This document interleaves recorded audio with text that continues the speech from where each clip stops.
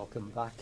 Yeah, it's um, great to be back. Um, obviously, been a long time since my last cap, and you always wonder if you're going to get another one. But um, shame about the circumstances that have come on in. But um, yeah, yeah, it's great to be be back amongst the fold. So, and you went back in in the heat of the battle. How did you hold on for so long with ten men?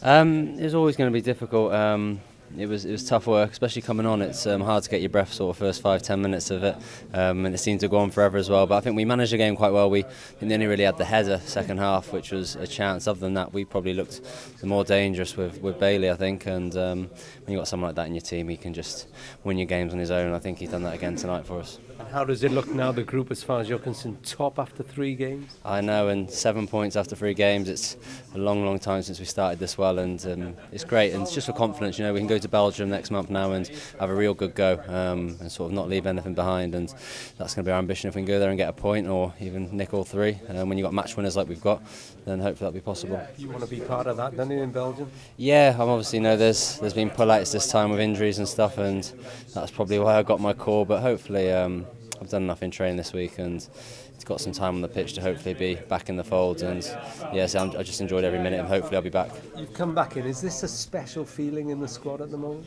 Yeah, it's, it's completely different. I, as soon as I walked in, you can just tell it's um, completely different. The boys are such a good team spirit. Everyone gets along with everyone, and it's just it's just a great place to be. Sort of um, international trips can drag a lot of the time if you're away for a long ten days, but it's sort of flown by for me. I've really enjoyed it, and um, so as I said, hopefully I'll be back.